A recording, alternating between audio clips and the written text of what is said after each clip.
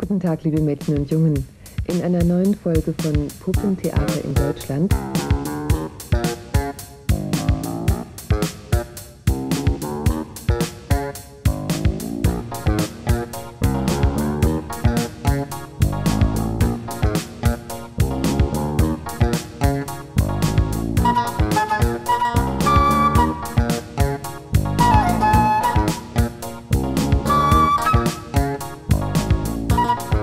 Thank you.